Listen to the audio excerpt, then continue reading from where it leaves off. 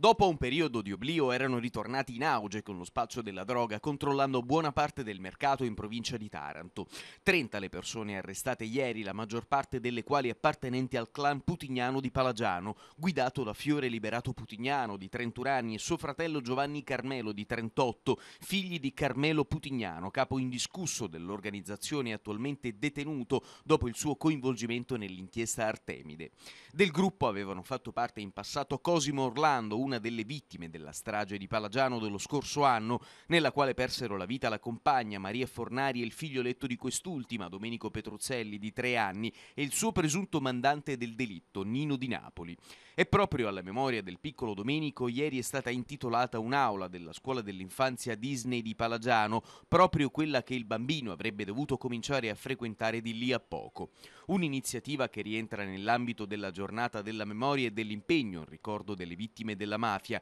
terminata con un corteo per le strade del paese al quale hanno preso parte centinaia di studenti.